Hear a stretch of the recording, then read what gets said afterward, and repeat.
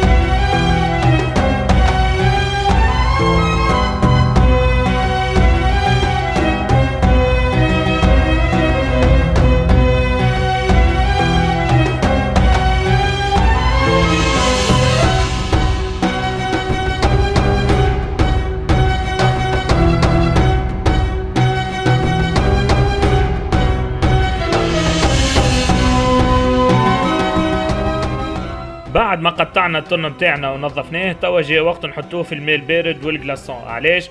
باش اللحمة تشد روحها نخليوه حكار درجين هكاكا ومن بعديك شوفوا باش نعمل.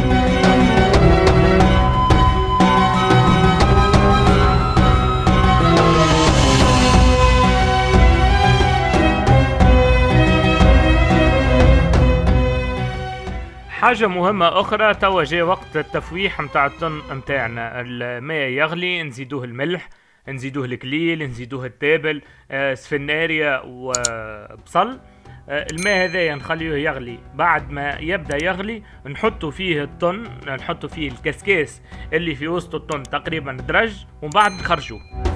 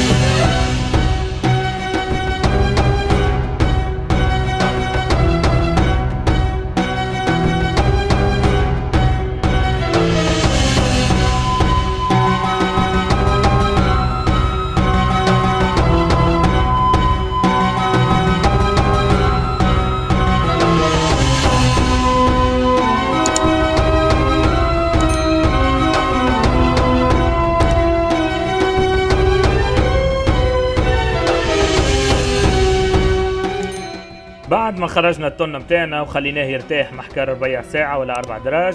ناخذوا الطن باش ننظفوه نحيولو الزايد نحيولو القشرة متاعو بعديك نفتفتوه بعد نحطوه في الدبابس نحطوا فوقه الزيت. من بعديك سكروا الدبابس متاعنا بالباهي بالباهي ولهنا تجي توا مرحلة التعقيم بعد ما سكرنا دبابسنا مليح مليح مليح نحطوهم في الماء نحطوهم على الغاز على نار متوسطة.